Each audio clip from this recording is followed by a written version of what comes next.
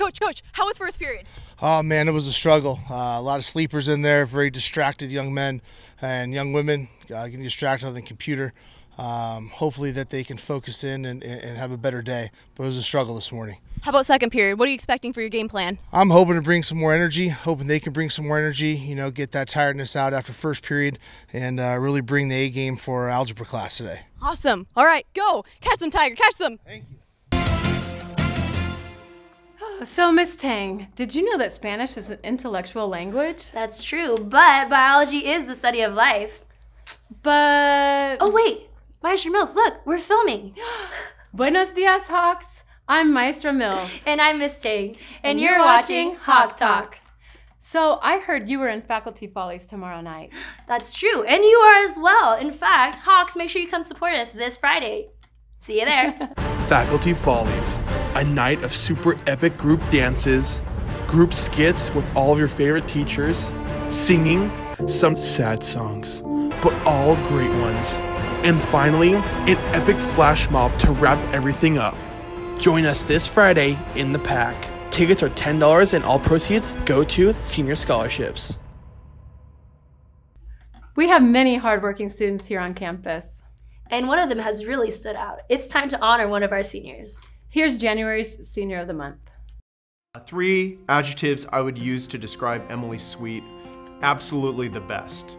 Emily Sweet does tons of work on all of the videos that get made for assemblies. She works with Hawk Talk on um, filmmaking projects and all the things we do. She's absolutely one of the hardest working students in the class. So I met Emily in middle school and we've been best friends ever since. I've loved being friends with her because I feel like I can share so many experiences with her and we just like have so many of the same interests in like TV shows and movies. She's just been such a great friend to like have around. The uh, promo for Sadie's, the promo for the homecoming dance, the promo for the PYL USD Winter Formal Dance, the Founders Award at FilmEd for her video Rad Camp. Emily Sweet is just an outstanding all-round student. She does absolutely everything that you could ask in this class. Three adjectives I would use to describe Emily are hardworking, trustworthy, and talented. She is someone who I look up to in everything that I do. I think that she is the best friend that anyone could ever ask for. She's just such a like great person to talk to and she's always there for you and she works hard and puts 110% into literally everything she does and I know I can always count on her. Congratulations Emily Sweet. Being January Senior of the Month.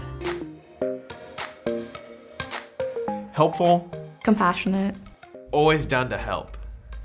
Haley's always been one of my most motivated students and has always been producing work sort of at the top of any student in her grade level. And she continues to improve and, and do better every year. There'll be like juniors who come onto their set for the first time. They're not entirely confident. They don't know what to do.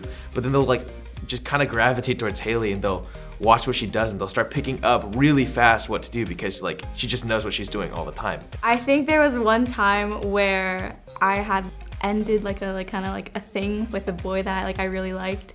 And I was telling her and without like any hesitation she drove over with ice cream and she tells me she's like okay let's talk about it. She's just like so selfless. It's just it's like admiring. I have this friendsgiving every year and Haley like out of nowhere was just like let's go to the movies. Just such a fun time and I feel like Haley was like really the one who kind of you know, got everyone to like get out of their comfort zone and just like have fun. Congratulations, Haley. Of being January senior month. So, Miss Tang, what's an insect's favorite sport? Mm, I don't know. Cricket. Oh dear. Let's leave the sports up to Jock Talk. Hi, I'm Kiana Harms, and you're watching Jock Talk.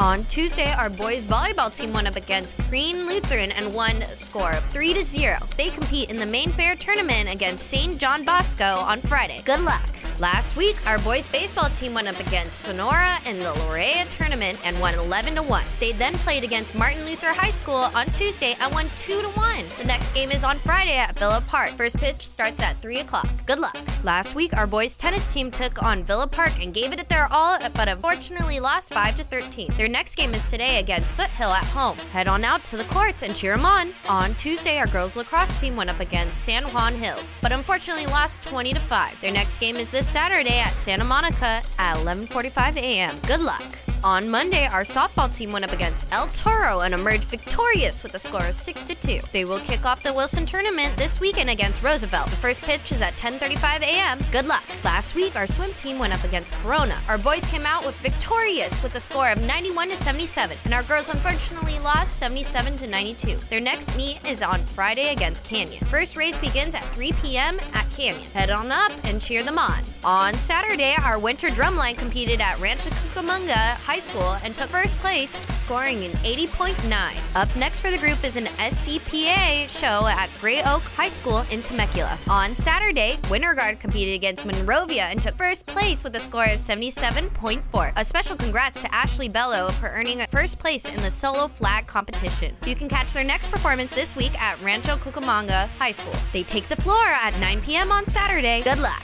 Thank you for watching Jock Talk. Catch you next week for some more sports updates. Hey, Maestro Mills, what's the best thing to do if you're cold in an empty room? Put on a sweater? No, you have to stand in a corner because it's 90 degrees. Ja, ja, ja. Oh, Maestro Mills, you gotta stop putting in those extra A's. Any students interested in the tourism or hospitality industry should go see Mrs. Hamilton in the Career Center ASAP. Join us in the Theatron on Tuesdays. We'll pull three more names for a chance at the moonshot and $100 next Thursday at lunch in the Joe Rye Gym. Faculty Follies will be at 7 p.m. this Friday in the Pack. Tickets are on sale in front of the Little Theater for $10, and the money will be donated towards senior scholarships. Fullerton College is visiting us today at break. Seniors, check out the new scholarship bulletin online or by the Career Center. Many new local scholarship opportunities have been added. Attention juniors, the 2020 Youth Leadership Institute application is out now. It is open until March 15th. Fullerton College counselors will be on campus on March 31st. Seniors planning on attending Fullerton College should sign up with Mrs. Hamilton to meet with them. The Fellowship of Christian Athletes Club is hosting its next huddle today at lunch in the Joe Rye Gym. Come and get inspired by Golden Hawk alumni and former MLB player Matt Luke. Auditions for El Eldorado's choirs, vocal ensemble, advanced women's, and men's choir are open today and tomorrow for everyone. Students may sign up online or in the choir room for an audition time slot. See Mr. Yoder for more information. Calling all gamers, there's a meeting next Thursday. Mr. Eldo is in the pack this Saturday at 7 p.m. Tickets are on sale for $5. Well, I'm Miss Ting. And I'm Maestro Mills. See you next week, Hawks. Hasta la próxima. Bye in biology.